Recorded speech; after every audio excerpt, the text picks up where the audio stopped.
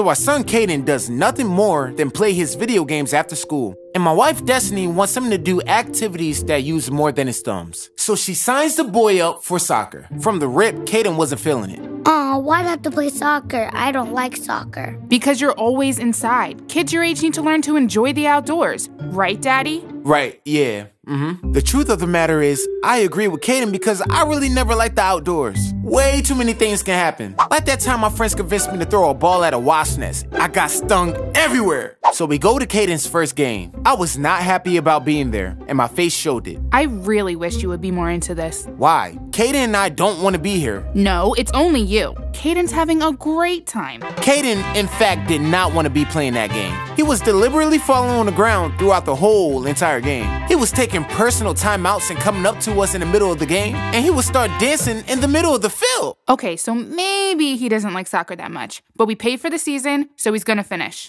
So, Daddy, did it get me out of it? I'm afraid not, little man. It's gonna be harder than I thought. But don't worry, I have a plan.